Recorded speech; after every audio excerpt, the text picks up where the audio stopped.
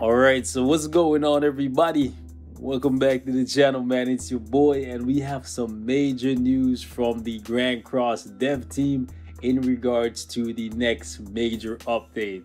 So, as most of you guys are aware by now, the game has been kind of dead lately. It's basically just PvP and new banners. Well, it looks like it's about to kick up and kick up in a good way. So, the collaboration for the KOF fighters is actually going to be happening sometime in the next two weeks. So by the time Shin Banner disappears at the end of October and the beginning of November, there's going to be a huge update and we are going to be getting the KOF collab fighters. Now, unlike the collabs that came before, this is a collab that you don't want to miss out on. So if you had thoughts of summoning and going hard on this banner for Shin, I would say skip that because you want to throw those diamonds on these characters because they're going to be light years better than Shin and Roxy for sure, for sure, right?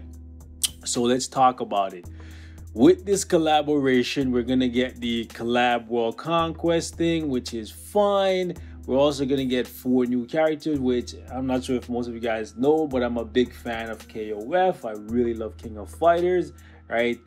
And we're getting my boy Kyo. We're getting my girl Mai. I am looking forward to roasting people with Mai Z. We're getting Athena. She's okay. Never really been the biggest Athena fan, but we're also getting Omega Rugal. Now, if you don't know anything about KOF or King of Fighters, King of Fighters is an old school fighting game, kind of like Mortal Kombat, Street Fighters, Tekken, etc. Right? It's a fighting game that most of us older people played back in the 90s, right?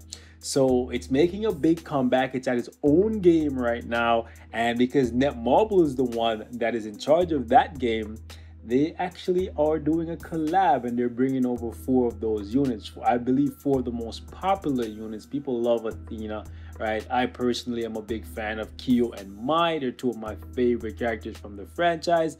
It's a shame that we didn't get my boy Rio, but it's okay.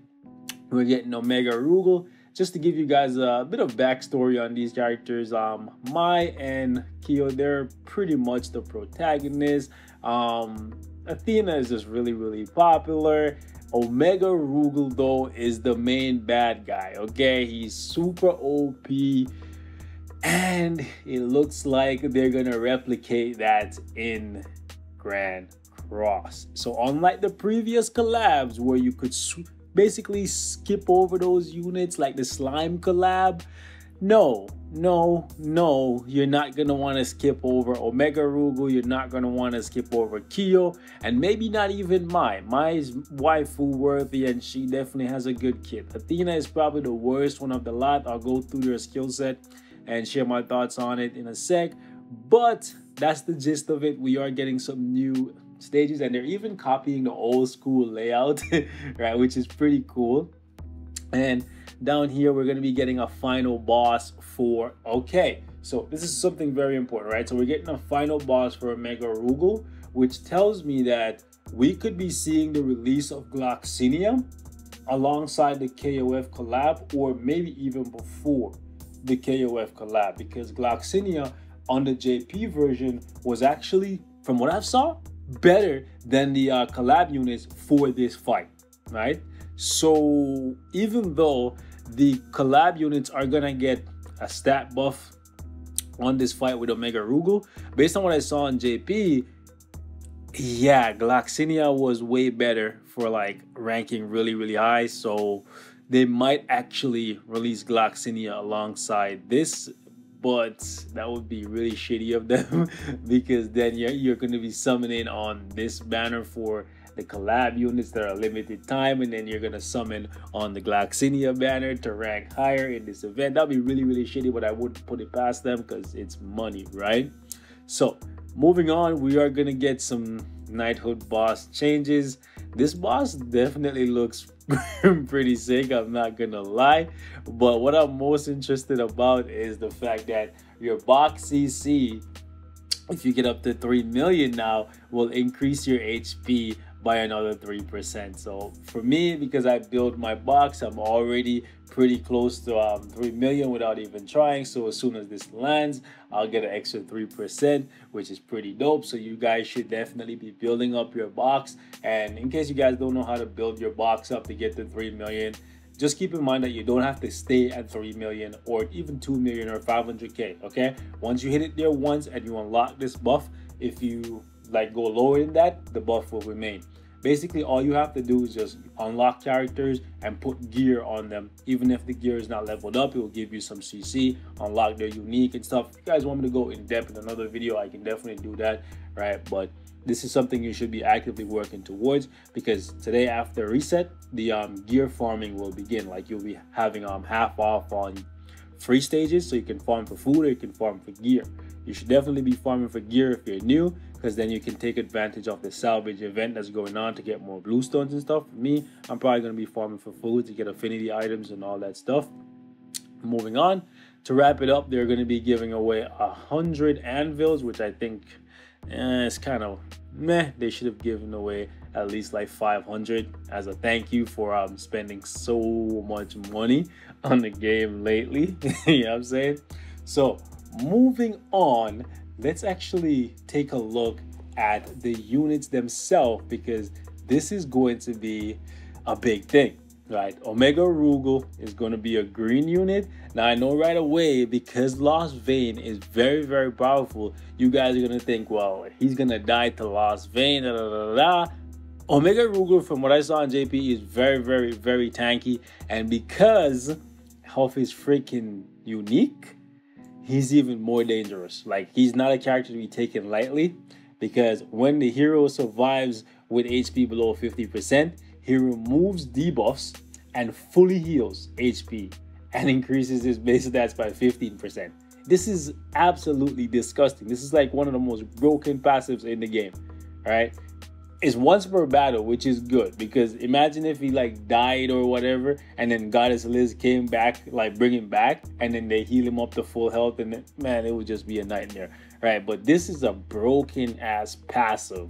This alone would make me want to summon for him, right? But then he has the same exact card, the AOE Pierce card, as Blue Demon Meliodas, which means if you don't have Lilia you might want to get Lilia. You might want to get Rugal because Pen is definitely going to come back, right? By the end of October, the beginning of November, yes, Lost Vein is still here and you're still going to have to fear critting on him. But it doesn't matter if you crit on him if you just kill him in one turn, right? Rugal, especially if you get this this stat buff, bro, two Rugal cards and one Lost Vein card. Sorry, not Lost Vein, Lost Vein on the mind. One Blue Demon Meliodas card they're dead. They're just dead. Like he's just so busted. Like this card is not really that good because it, it lowers attack related stats and it's only a single target. But at least it does immediate damage. And I guess if you use this on Lost Vein, right, after you crit on him and rank him up, you could make it so that he doesn't do that much damage on his charge card or um, his um, single target card. So that's actually not bad, right? Moving on, we have this guy right here, Keel which is also a monster because of his unique. Ah, that's that's the trend you're gonna notice. They have really good unique. So at the start of every turn, applies two ignites for three turns. Now you can cleanse this. Blue King is pretty much on every team now, right? So I don't see this being the biggest threat. At least I wouldn't see it being the biggest threat if this wasn't happening every turn. Are you gonna cleanse every turn? That's gonna waste a move and you're gonna rely on RNG to give you a cleanse. And not to mention, if one turn goes by and you don't cleanse, you're taking 20% extra damage. Plus, for each ignite that's on the enemy, it reduces the damage dealt to allies by 5%. So not only are you going to take 20% more damage when this guy's on the enemy team, they're going to take less damage per ignite. This is such a good unique right? And then he has co-destruction over here, which as you can see, increases damage per debuff on the target, which is just absolutely insane, right? And then he has Scorch, and it increases damage dealt by 25% per ignite on the target. So two turns go by, you stack up some ignites, they're pretty much just gonna die. Kyo is gonna freaking melt. Kyo and Omega Rugal definitely got tier units. I'm telling you, you're gonna find so many uses for them, right? There's a lot of characters in the game, but not that many, right? But there's, a, there's at least a couple on my mind that I think would work really, really well with Kyo's passive. One of which is Red Nunchuck Bond, right? Because of the weak point damage on his single target skill, you could definitely start seeing some play, but that would be a, a risky team to run because I think the one downside to um, these units is the fact that they are susceptible to attack seal, right? Whereas, yeah, Omega Rugal, he um uh, actually, one card is a debuff card, so he's kind of like Lost Vein. Not again, not Lost Vein. Lost Vein on the mind, bro. It's Lost Vein everywhere. He's kind of he's unlike with um Blue Demon Meliodas, where you can't be attack sealed because of his um unique. Rugal can be sealed right? So you can kind of shut him down this way to stop him from basically cleaving your whole team, but he can still do some damage with this card. But this card is not nearly as dangerous as the cleave, right? So there's that. Uh, moving on, we have Mai. Now, Mai seems like she's gonna be a blue version of Red Escanor, where her unique is also really good. Right? When the hero's skills are ranked up, increases basic stats by 15% for two turns, which is pretty cool because you can literally just merge a card and rank it up that way, and then you get a stat buff. That's actually pretty cool, right? And then she actually depletes ultimate gauge, kind of like Merlin. And down here on her second card, she actually has Amplify, right? Which is pretty cool. The, the best thing about Mai is the fact that you can just combine a card and immediately get the buff on yourself and then attack same turn, right? So even if people try to like strip your buff, so this my anyways. So even if people strip your buff, you can just get the buff right back by just combining a card as long as you have two cards in your hand for her. So a pretty cool character. I do like my skill set. I do think they should have given her some ignite stuff though, because eh, well, I guess most of you guys may not know about Mai, but Mai does have fire, right? Kind of like Kyo, so kind of sad that they didn't give her any fire like well not fire but any ignite. Um last one is athena. Now, i'm not the biggest athena fan to be honest with you and i do think from all the um uniques she got the worst one. But it is interesting. We've never seen anything like this before. To be honest all the uniques that we've seen so far are very unique. We haven't seen them before right? When allies defeat enemies on allies turn reduce all enemies ultimate move gauge by two orbs at the end of your turn in PvP. So basically, if you kill somebody on the team and they have ult up, they immediately lose two gauge. Everybody loses two gauge, no matter who you kill. So you, you don't even need to attack the person, or you don't need to drain the person that has ultimate. So let's say you go up against Lost Vein Meliodas. He rushes his ult, and then let's say there's a Merlin on the field. Merlin, you can easily one turn Merlin with red units. So you don't even need to target the Lost Vein to take away his ultimate. You can just kill the Merlin and Lost Vein will by proxy lose two ult gauge just because of this unique. And this actually works even if she's in the back.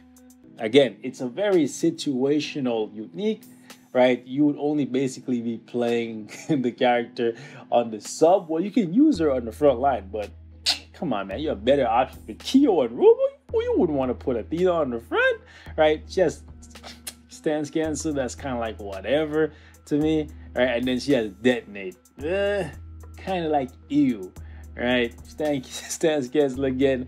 Um, the best thing about her is her unique and the fact it can work from the back, in my opinion, right? But that's just my opinion. Mai also has a pretty good ultimate too because when she ults, she increases the rank of all of her cards. So if she rushes ult, she can just rank up and get the buff and then attack right after and get the amplified damage on her second card, which is pretty cool, right? Moving on. Um, let me see you. Did I miss anything for Kyo? Let me see your ultimate, my G. Oh wow, yeah, I forgot. His ultimate applies two ignites, but it's it's fine because it's literally just his passive, right? It's literally just his passive you get one extra turn of ignites because it's the same two ignites for three turns. Yeah, but yeah, just imagine seeing all these ignites. The best part about Kyo is you can apply all these ignites just to the enemy, right? Whereas if you're using somebody like Melascula, yeah, it's a double-edged sword. You're getting the ignites on the enemy, but they also have ignites on you if you don't attack with one unit for one turn. Yeah, that, that kind of sucks. Right, but this, there's no drawbacks to this. It's just you getting extra damage and damage reduction at the exact same time. I am most definitely going for these units. The best part about them is none of them seem to rely on ult levels, right? Like you could get ult levels for them just for super awakening, but you don't need to like get six six. I guess you'd go four six just so you have um exactly what you need to make sure you don't spend extra coins when um super awakening comes to uh global because in case you didn't know when we get super awakening you can super awaken a character even if they only had um one six but if you go to four six it will be cheaper to super awaken them assuming that everything that's on jp right now comes to global as is right? But we're gonna wrap it up right here, guys. Thank you so much for watching. Leave your thoughts in the comments. Are you excited for the collab? I personally am. If you guys have been keeping up with me, man, you know I've been waiting for the collab to come. Not because these units are god tier or nothing like that, but just because I really, really, truly am a big fan of the uh, KOF franchise. So seeing just Kyo alone in this game, my two, makes me very happy. So even if they were like the same tier as um Levi, Eren and Mikasa, I would be happy. But these guys are definitely the best collab unit so far. It just looks like every collab is just getting better and better in terms of the character. The slime characters, kind of like whatever. And then the AOT characters came in, raised the bar, and now here we are with the KOF characters raising the bar even further. I think what's happening here is each time the collab characters come in, they're basically matching where the game is at for the collab characters right? Because if the slime characters were coming now, nobody would summon on the banner for them. That's just what it is, right? And people would barely want to summon on the banner for Levi and them, especially now that we have Zeldris and stuff, right? Even though Levi can guarantee crits, and Zeldris cannot. Sad life. I'm gone though. Peace.